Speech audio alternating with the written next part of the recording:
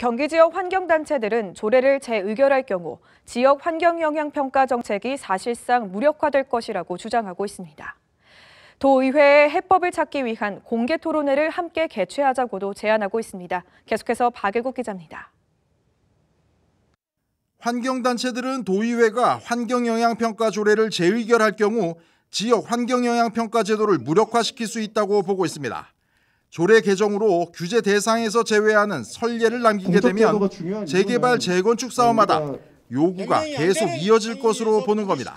수많은 곳에서 재건축 또 사업들이 진행이 되고 있는데 이 조례가 만약에 이번에 개정이 되면 그 재건축 사업 측에서도 또 다시 어, 조례를 개정해 달라고 하는 요구가 많아질 겁니다. 그렇다라고 하면 어, 지금 현재 만들어진 경기도 환경영 평가 조례가 누더기가 될 가능성이 높습니다. 환경단체들은 근본적으로 재개발, 재건축이 일조권을 무시하는 개발을 하는 것이 문제라며 합리적인 기준 마련이 필요하다는 입장입니다.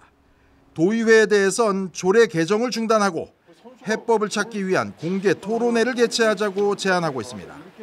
환경권을 보장하기 위해서 만들었던 조례이기 때문에 그 범위 안에서 어, 재건축이 더 이상 지체되지 않고 제대로 풀릴 수 있도록 여러 가지 어, 이해 당사자들이 모여서 그 해법을 찾는 게 가장 올바른 수순이라고 생각을 합니다.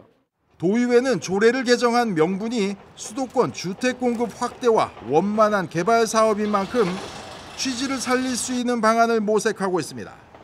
경기도의 제2 요구에 대한 법률 검토는 물론 상황에 따라선 대체 조례 등 다양한 해법을 검토해 다음 달 의회에서 결론 낼 예정입니다. BTV 뉴스 박일국입니다.